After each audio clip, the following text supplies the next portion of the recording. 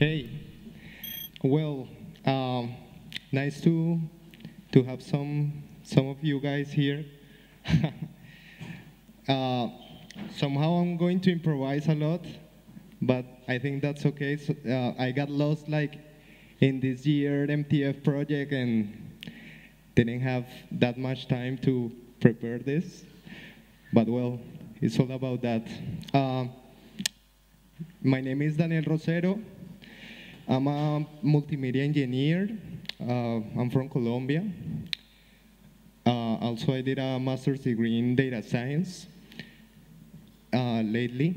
And basically, I want to share some project that I brought with me uh, that is all about doing augmentation to the musician expression with the effects. So uh, somehow, you know, like uh, when this time in your life comes to take a path, like what you want to do when you are older, uh, I told my parents that I wanted to be a musician, and well, they they didn't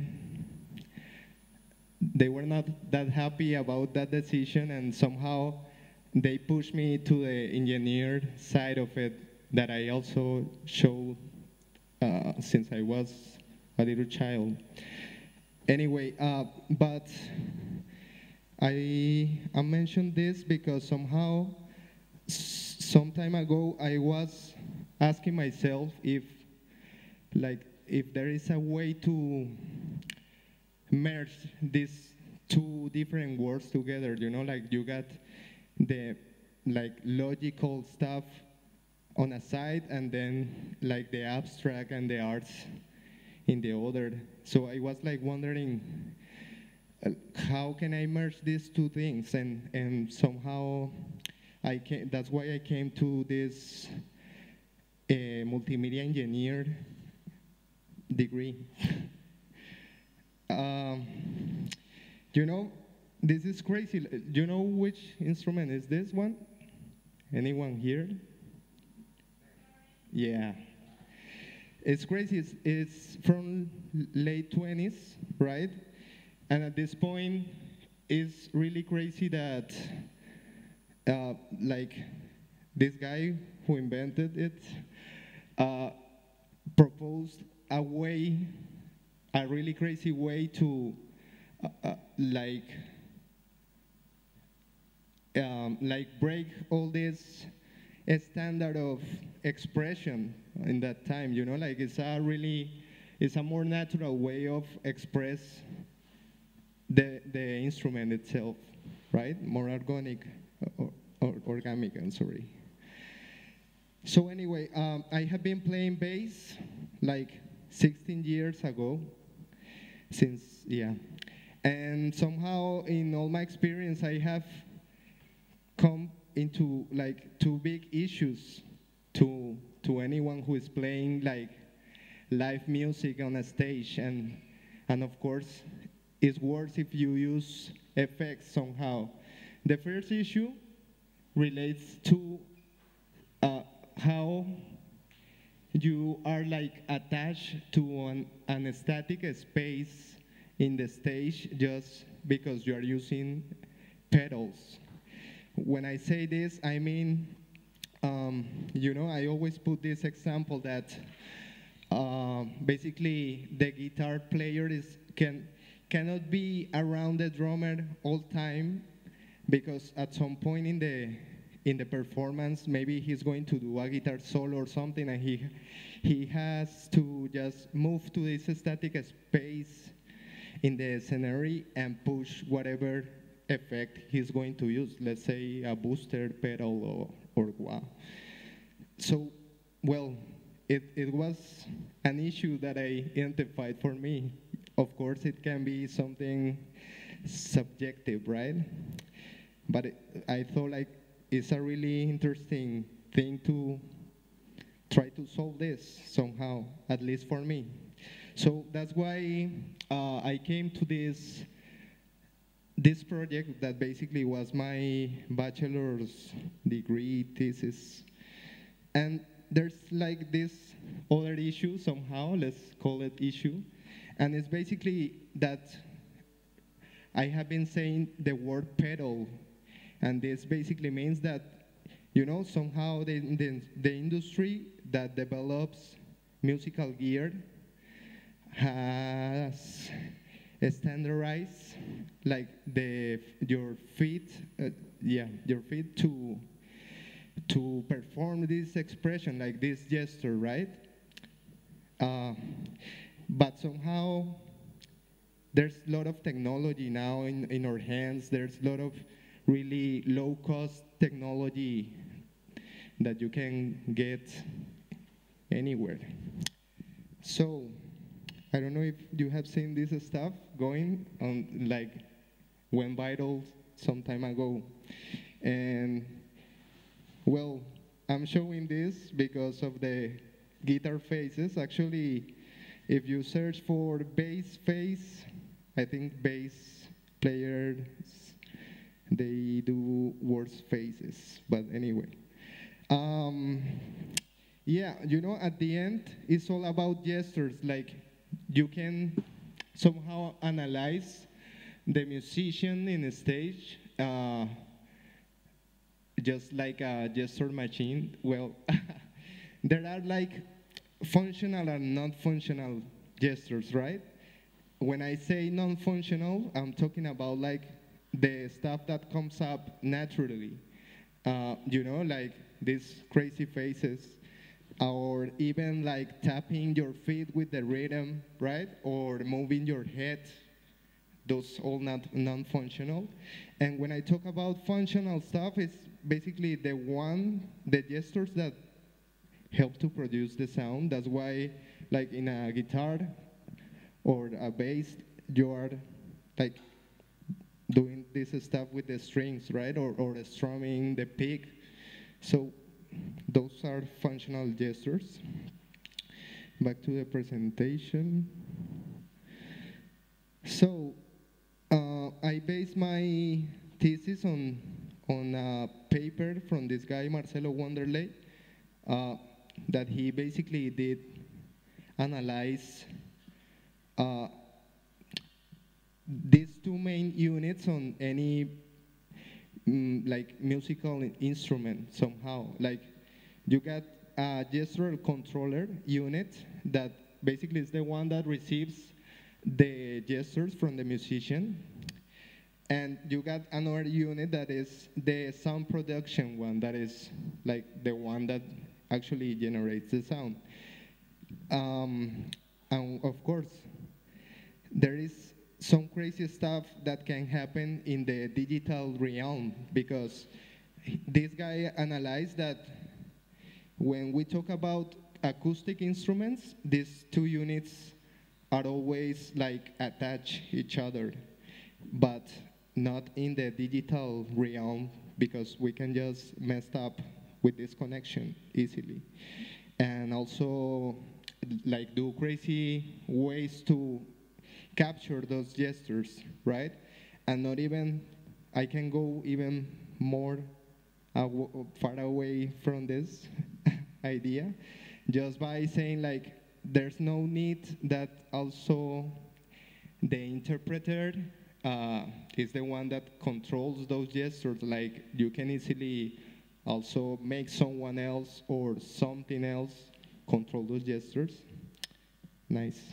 So um, yeah, what I was saying, like somehow if you take a look in, into an acoustic guitar, you will see that, yeah, these two units are attached because uh, the, the sound production generator unit is that we can call this like the body of the guitar is attached to the gesture unit in, in a sense that, you know, like the bridge of the guitar is attached to the body. And yes, well, what I did is not nothing new, right? Because uh, there are like some commercial things, exploring this kind of gesture mapping, like uh, new ways to do it. Um, uh, there are like some companies building up some gadgets for that. So um, we got like this guitar wing that basically is is all uh, MIDI controller that you attach to your instrument, and then you got some sensors on it, like an uh, accelerometer. You got some faders, some buttons or pads, and you can easily map those MIDI messages to anything that you want to control from it, right? And also, I don't know if you have seen this. This is really old stuff also from 2014. Um, and it's basically an two-axis accelerometer that you attach as a ring to your hand, and that way you get to do this uh, expression control in a more natural and organic way, right? For for a musician playing, you know. I can show a video.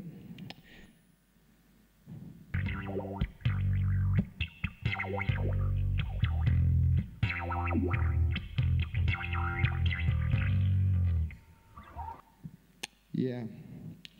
So it's really interesting just to detach these two units, right? You can get two crazy ideas, like, and it, it has something to do with the project that I'm working on this year also. Uh, I just remembered something.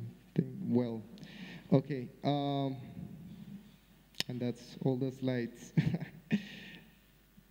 I'm going to sh show this video that I, well, it's been a process, right? I, I have been doing this since 2015 or maybe the end of 2014. And, well, I had made a lot of improvements to the system. Um, I'm going to show first this video. I, am going to put the subtitles that are auto-generated, but I think the first part is going to be good and maybe clarify some stuff. Alright, I'm going back a little bit. Ingeniero multimedia y soy músico. Este es mi proyecto, se llama Infinite Sound Effects, ISFX, también lo conocen así. Básicamente este proyecto nace eh, buscando afrontar dos problemáticas que identifiqué de los músicos en el escenario. Una de ellas es la limitación del, de la plataforma de pedales estático. Un músico en el escenario que usa efectos y procesos en vivo eh, depende de este espacio, entonces se le restringe su performance en el escenario. Un ejemplo básico es que el guitarrista no puede estar al lado del baterista cuando llega el momento del solo, porque tiene que ir a switchar, ir a pulsar el efecto para pues cambiarlo.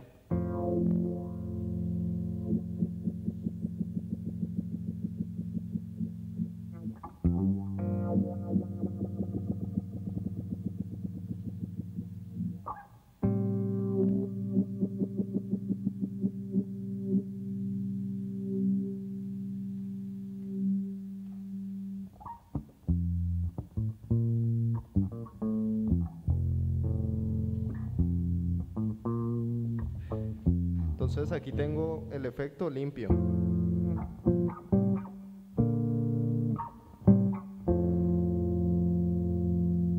Entonces, si yo hago este patrón, o sea, voy a hacer la muestra.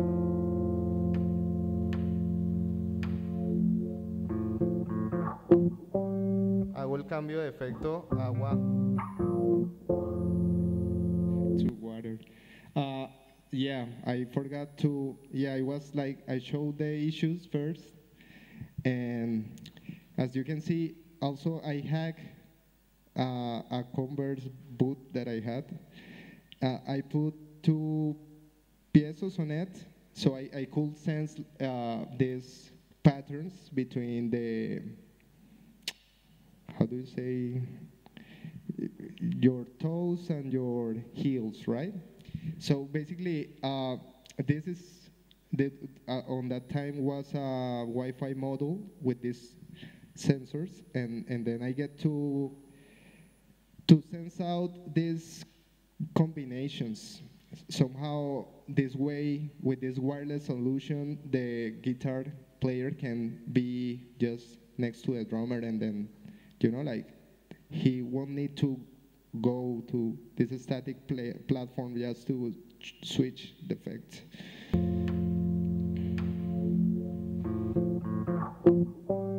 Hago el cambio de efecto. All right. Uh, also, here you can see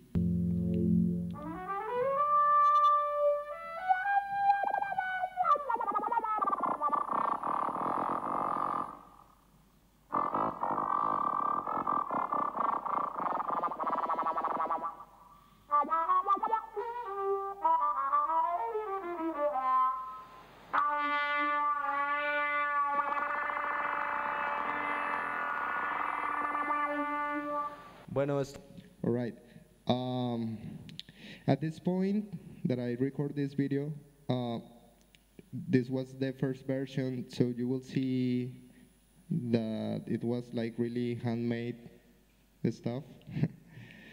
um, and the solution was not that good in terms of doing all the connections was really complex stuff. Uh, and now uh, I'm going to talk about the new version. There's something also really interesting to add to this solution. Well, I, I haven't speak to uh, about what I got here. Uh, what I got here, I got an embed system running all the audio processing on pure data. I, I got a Debian operative system running pure data, and also like the, this sound interface is plugging straight to the embed, the embed system. So it's a nice thing because at the end it's multi-instrumental, right? You can, if you're going to use a microphone for a singer and it's a condenser one, you can easily put Phantom on it and plug it in, or you can put, as you saw, uh, like put the module on a trumpet, or or whatever you think about. Also, at some point, well, I, if you got an instrument or something, you can try it out. I, I think will be really interesting. And Nestor, epa. All right. Um, so what have changed? Or maybe, yeah. I'm sorry, I, I, I don't have a slides about this, or I can, I think I got, look, this is some pictures from the first version. Also, this is like, this is the, the model that you saw before. Basically, it's, it only, on that time it was an, an Arduino Nano with an, an accelerometer, three-axis accelerometer, and I remember on that time, it, I saw, I said that it was more complex because these modules were connected to the embed system through Bluetooth, but I'm talking about really old Bluetooth, not low energy one.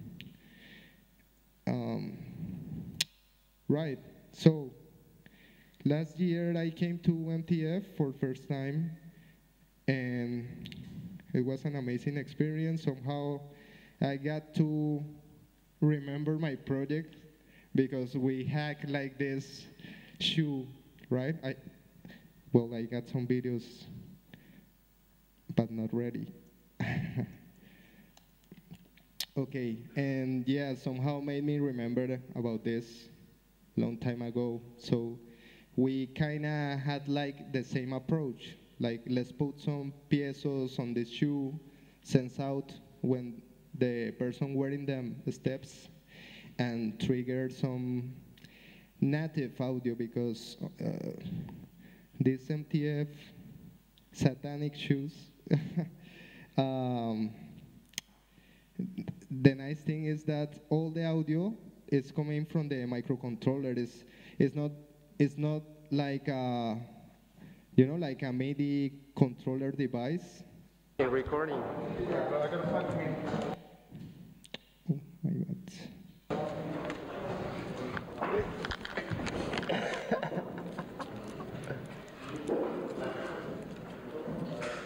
Kind of funny as well that one of you's.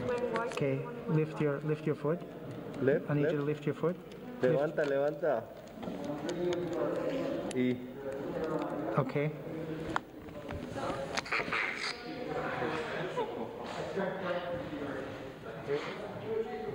here we go.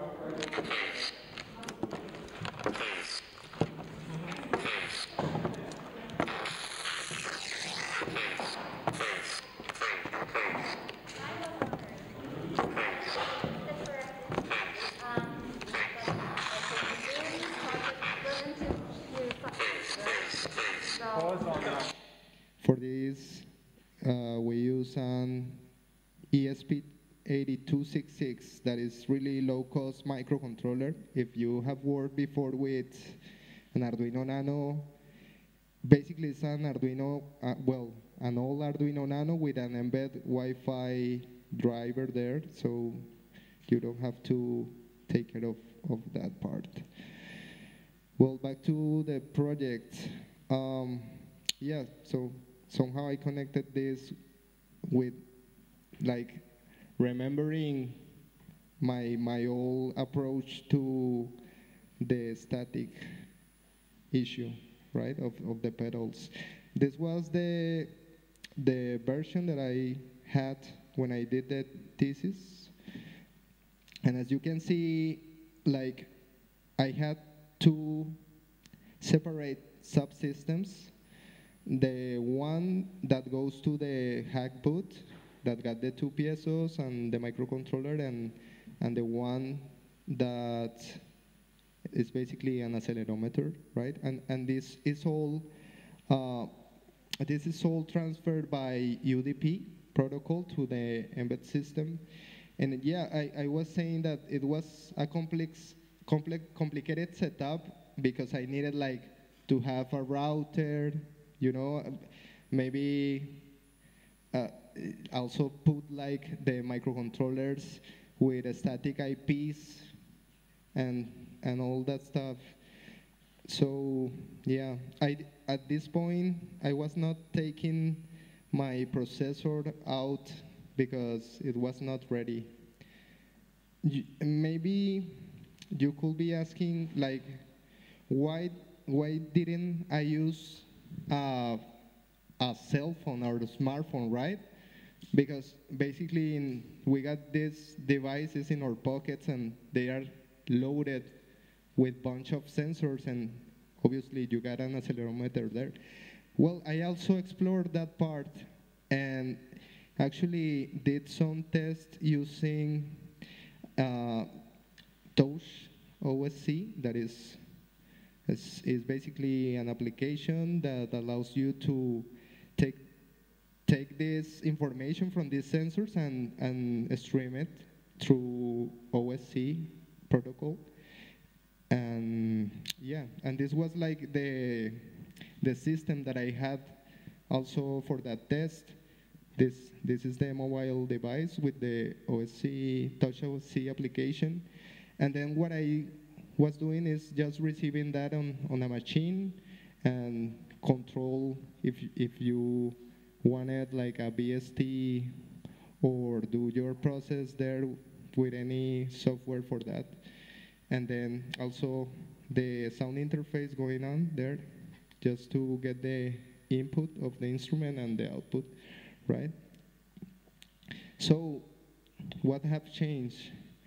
Well, when, when I finished last year MTF, I, I went back to my place and I received my first 3D printer. So I, I don't know, I, I thought, okay, I'm going to take two models from Thingiverse and somehow, yeah, managed to, to make this, to print this, like, how do you say that, like, box? Okay.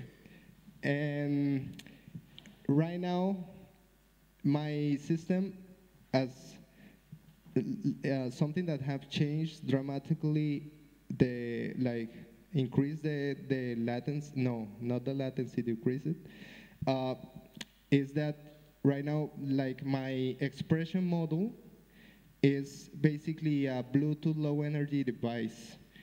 That that means that it, it speaks with my embedded system via bluetooth.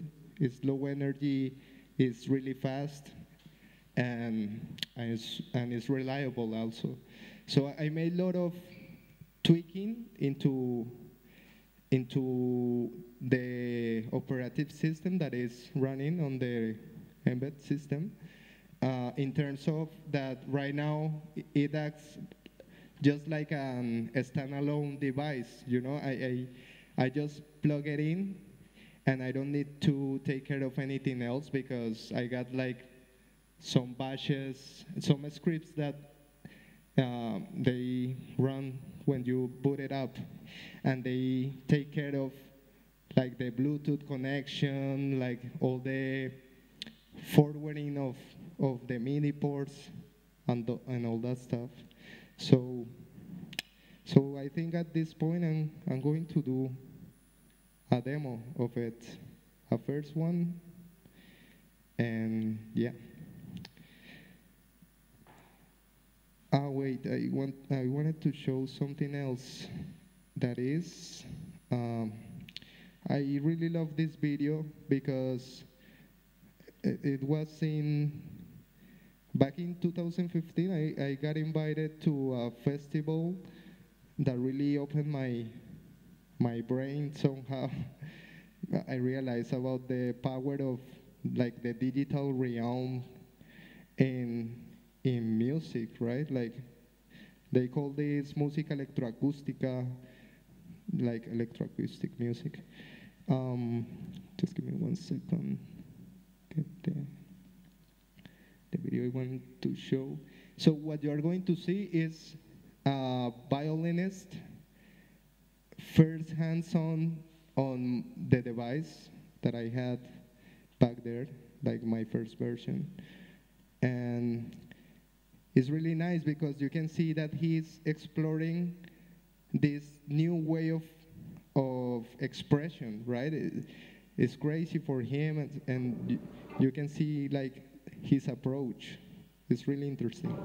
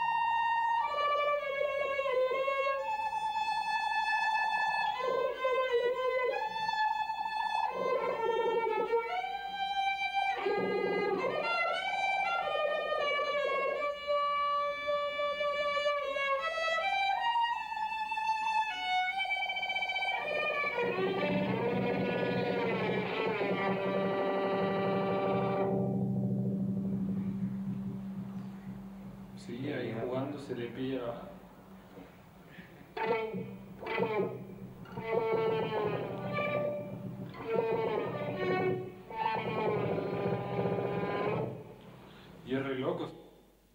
Yeah. So, as you can see, it's all about doing an augment- augmentation, right? To to map like these more natural ways of expression that we got uh, on a stage. Uh, also, I wanted to add, this is like this is using um, this is a project that I that I, I did with with um someone from my band. I, I got a new band where I get to play with this crazy stuff. Uh, That's why I love it. and somehow we made this project with um, a trumpet player in Barcelona, uh, just for an open call about technology in the trumpet world. And yeah, as I, as I was saying, right now my expression model acts as a Bluetooth low energy device, and this grants uh, amazing features because you cannot just use it. Uh, I mean, it's not meant to be used only with my Infinite Sound Effects processor, but you can just plug it through Bluetooth to, you know, to your machine and just use it in any DAW. I don't know if that's well pronounced. Uh, like, you know, like Reaper or, or, or yeah, or Reason now got some stuff like that, or Live, you know, and just receive like this continuous controller to map it out to control anything that you want on your set. So uh, we did this. Also, uh, Juan Pablo, the guitar player from my band, he he made also a Bluetooth low energy device uh, that basically is a globe and also got an accelerometer and and I add my module. So we were doing some stuff.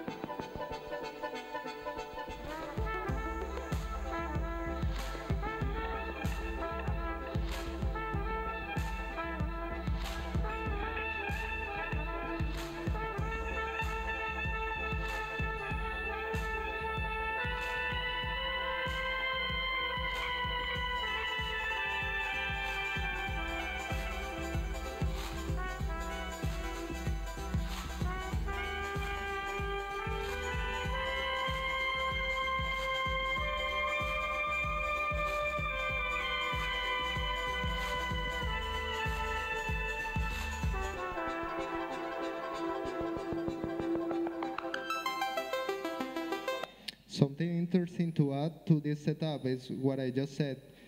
Those two models are not are just connected to a MacBook through Bluetooth, and then uh, you use them just to map whatever you want from from your composition. In this case, we had a live set going, and and it was moving some parameters on the effects of the trumpet microphone. Yeah. So this, well, is really small thing. All right. I think at this point I'm, I'm going to play a couple of songs uh, from my band. My band is is eh, my band name is Space Barman. We got Instagram and yeah, all the social media going on. Also, also you can hear us in SoundCloud as well well, okay. Anyway, I'm going to play.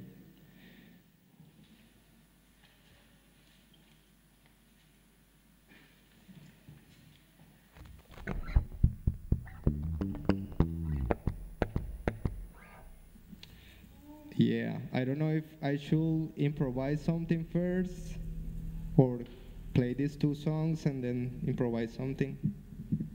Well, I, I think first I'm going just to show how it works, right? So, uh, I don't know if, there's, like, can you zoom here? Andrew, first. So this is, for the people that know hardware, this is an ESP32. They are really low cost, and this is from a Chinese company that you can buy them uh, with an embed OLED display as well, and got some buttons, and got a battery, but it's it's really bad one. So that's why I added an additional LiPo one, added a, a switch, so I, I can I can change between three patches that I got. In this in the first one, what I what I can do is um, oh okay. Wait.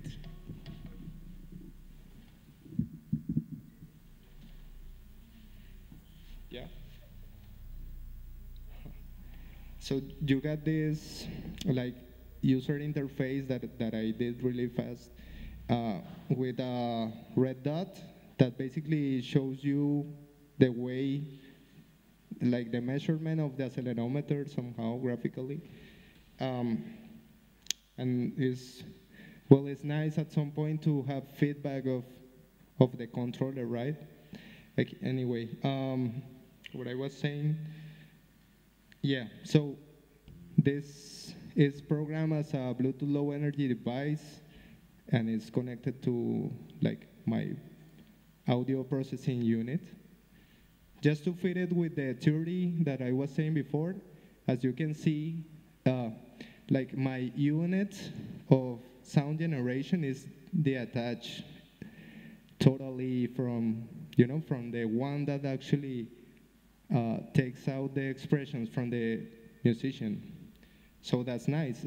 I mean, it's really crazy. Like I could be playing something and just pass out the controller to someone if you know, and and just allow that stuff to happen. That's really interesting, and also where we can explore it after. Okay, uh, so what's happening? I got this is my clean sound and with with this button I get to somehow lock lock the LFO in in the place that that you want or just set it free to interact. I'm going to push it so I, I set it free and just show. Here's like the highest.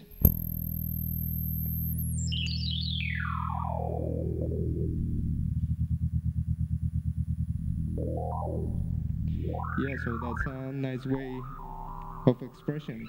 And it's it's allowing me to express it that way just because I got this attached to my bass right? But I can just put this like I don't know let's say I put it in my in a hat or something and and I move naturally with the groove right? So that's interesting.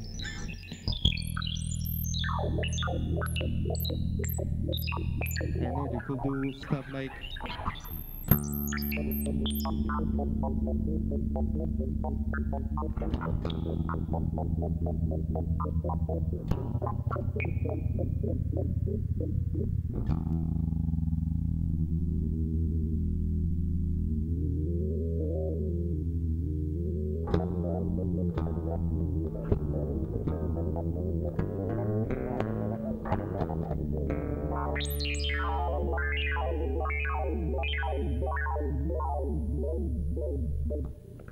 and I was saying the the lock button because you know like I can do like explore it. If I get to a place that I like let's say there I just leave it like that and now I got lock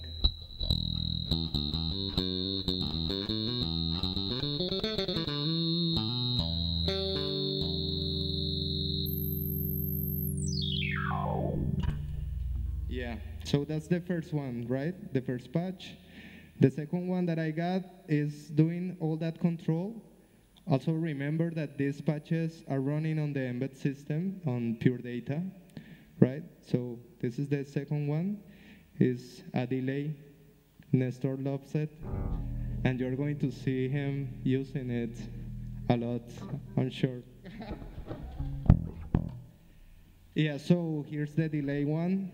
Um, basically, I can control like, let's say, the, hmm, like the, the time of, of the, oof, like, like, oh, this is hard. I don't know how to express it. I'm going to show you, and then you tell me.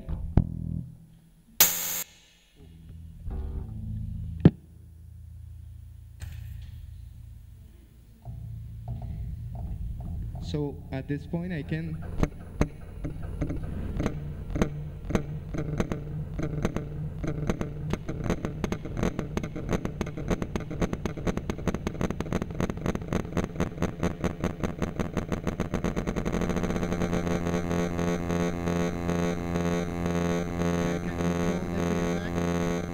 Just by doing this, yeah, I kill the feedback that way. So it's like with this axis, I control like the the velocity of the rebounds, right? And with this axis, I control the feedback of it. So can do.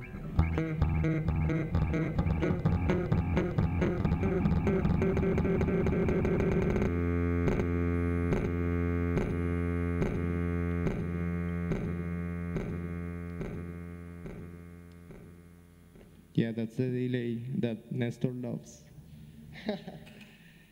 uh, and the third one is just totally randomness. I like this one. This is clean stuff.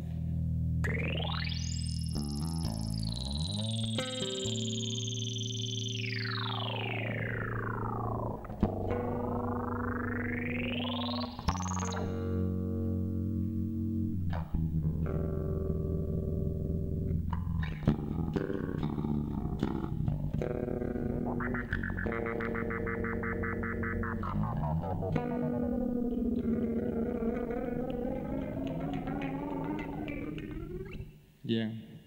So those are the the three. And of course, like this is not I got a really huge problem here with UX because it's really hard to be playing and try to switch the effects from this button here. But I can solve it easily just by adding like a switch pedal and receiving like those control messages through the G- GPIO from the board, right? And and this and then just implement it in, in pure data.